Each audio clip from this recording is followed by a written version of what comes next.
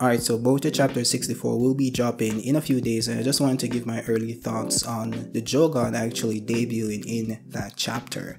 I think it's highly possible, but I just wanted to get some things across and some things I'm discuss some things that I'm a little bit confused about because one thing we know that is Boruto will get a scar on his right eye and that's the same eye that Jougan is in right? We've seen the Jougan before in the anime. We haven't seen him use it in the manga, so it's technically not canon to the manga as yet.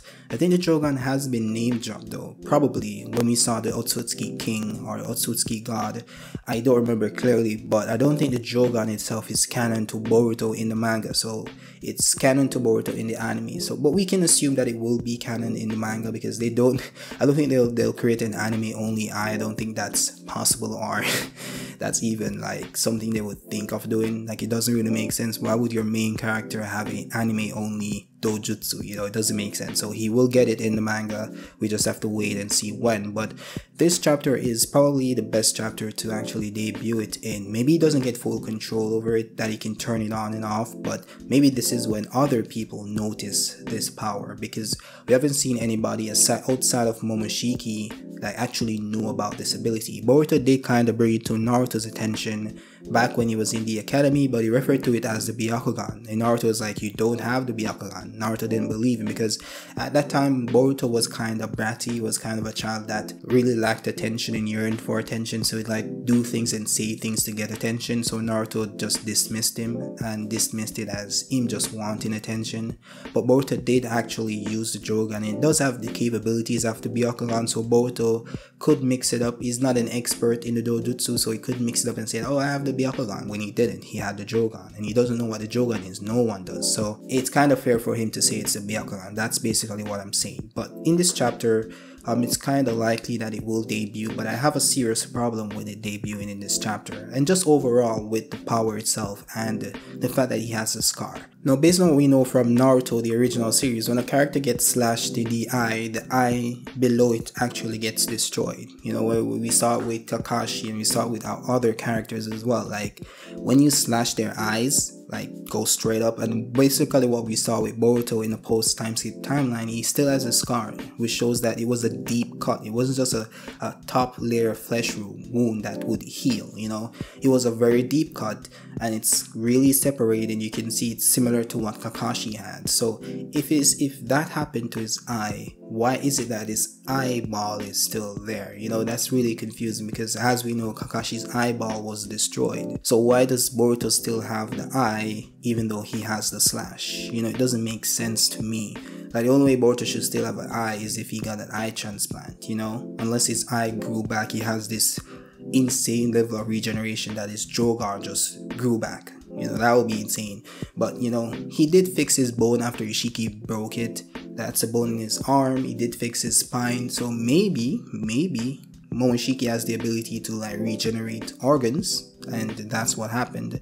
But would it regenerate as the Jougan though? Because as we saw with Kakashi, when Naruto regenerated his eye, it didn't turn into Obito's Sharingan. He just grew a normal eye. But again, it, it, it's different because remember the eye that was in Kakashi's eye socket wasn't his. So the Sharingan didn't birth from his genes. So it could be a case where because Boruto has the genes that awakened the Jougan when um, his eye was restored or healed or he got an eye transplant, the Jougan just reappeared in that eye because technically the power is within his body, not the eye socket. And it's a little bit confusing because you can say that, but if you go back to the Naruto series, people tend to transplant the eyeball itself and gain the powers of the character. But at the same time, the characters that are gaining these powers still retain their abilities. And the reason why I say this is because we have the eternal Mangekyo situation where Sasuke went blind. Like he took out his eye socket and implanted um, Itachi's eyeballs. I mean, took out his eyeballs and implanted Itachi's eyeballs but he still had his Sharingan and it merged with Ishak, Itachi's Sharingan, which created the EMS. And if you look at the design, it's still had Sasuke's design with Itachi's design within it, and he still had his abilities on top of Itachi's abilities. So the powers in that case didn't lie in Sasuke's eyeballs because they're no longer in his eye socket. The power itself was in his blood. So when he implanted Itachi's eyes, it's like his Mangekyo just appeared in Itachi's eye sockets anyway without his eyeballs. So it's a confusing message. Does the power really lie within the eyeballs themselves or within the genes of the character? You know, if you get what I'm saying. So maybe it does rely in the genes. Maybe it doesn't lie. Maybe it does lie in the genes is what I'm saying. But if that's the case, why did Madara need to like get his Rinnegans back? Why didn't he just get a regular eye and then unlock a Rinnegan in that regular eye? You know, that's what I'm saying. It's confusing. So it, it just works in different cases. Maybe the Eternal Mangekyo situation is just some ben- benign situation that's different from everything else where you don't really need the eyeball. It's just, you just need the genes because they're brothers or whatever, you know, some stupid shit like that. But yeah, um, that's just the argument I wanted to make on why I think Boruto would or wouldn't get the eye. And you know and there isn't any conclusive argument. Those are just my thoughts or two ways i think it contradicts each other you know uh, but we will see. Uh, as i said like these things we're just theorizing here. I'm not saying that they will never have an explanation. They might have one. They might not have one because there are a lot of things in the bird series that have not been explained so i'm not going to hold my breath, but it's possible that they have an explanation as to why he has his eyes. But yeah, that's the biggest thing I want to across. Like, if he has the slash, which means that somebody tried to destroy his right eye, why does he still have the Jougan in the future? You know, obviously it wasn't destroyed, or if it was destroyed, he re- regenerated the eye and the Jougan came back. So we just have to wait and see on that. But yeah, this chapter is shaping up to be a good one.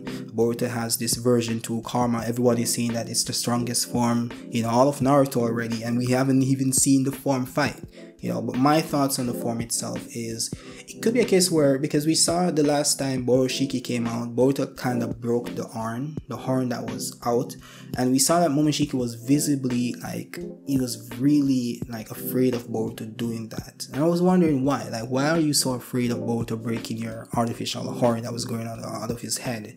Maybe it's a part of the progression. Maybe it's a part of how he possesses Boruto.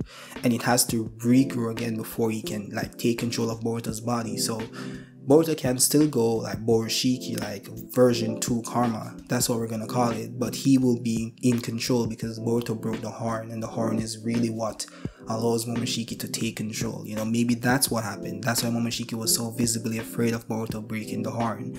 You know, so yeah, that's really interesting. I, I don't think it will be Mm, it's it might be a little bit more powerful than Boroshiki. I don't know because I think Momoshiki would be more capable of using his powers. But again, it's Boruto's body. Maybe he's more capable of using his powers, you know, and maybe taking advantage of Momoshiki's hacks abilities or just his enhanced body and reflexes, you know. So we'll just have to wait and see. But I'm not definitely certain that it's an increase in power. It just could mean that he he just has control in this state. You know, that's what it could mean. But yeah, we'll just have to wait and see with that one. Um, but yeah, that's just all I had to say. Like the I will the Jougan debut, it will be a good thing for the time skip. Um, with the Jougan debuting in this chapter, it could be a case where we get a time skip in like two to three chapters, or maybe next chapter. It's possible. I can't forget the time when we were at the um the Jigen arc, we were still at the Ishiki arc, and everyone was talking about oh like the chapter we're, we're getting time skipping like two chapters. I think we're at like two chapter 54 everyone's saying like oh in two chapters we're getting time skipping like chapter 56 and we're moving forward and then kishimoto came in and boom like we're still at pre time skip. So yeah we don't know what will happen we never know what will happen and it's it's kind of like they took a different direction because i can see why everyone said that the time skip was going to come up like next chapter or next two chapters because it, it kind of felt like you know. But then Kishimoto came in and everything kind of slowed down a bit. He kind of took his time with the story. I honestly don't have a problem with it necessarily, but I do think Boruto would benefit from moving into the time skip sooner rather than later. You know, kind of get rid of this fluff, this child stuff, move into the Shippuden era where we get some serious things happening, people dying, and you know, yeah, that kind of stuff. That's what people want to see. So yeah, we just have to wait and see. But that's just my thoughts on this. Let me know what you guys think in the comments. Do you think that Boruto can just regenerate the Jougan if he loses it? And um, yeah, or do you think he'll lose it like at all? But I think he will probably. But that's just my thoughts. Let me know what you think. And uh, drop a like if you like the video and subscribe if you're new. And I'll see you guys next time. Peace.